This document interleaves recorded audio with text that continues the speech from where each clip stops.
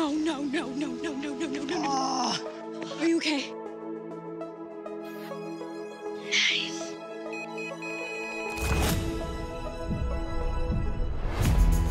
You are literally the last incoming freshman to complete their level one sexuality requirement.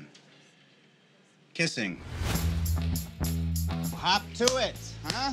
Hate to see that collar stuck on another year. Can't have anybody left alone. That's the policy. With the right girlfriend, you'd be really happy. You can do homework together, you can listen to those tapes you make, you can experiment and learn things. You know, about each other's bodies. I don't want to be related to the only freak in ninth grade who can't get his collar popped. It's tragic. Sorry, Marcella. You can't complete your level one sexuality requirement on your own.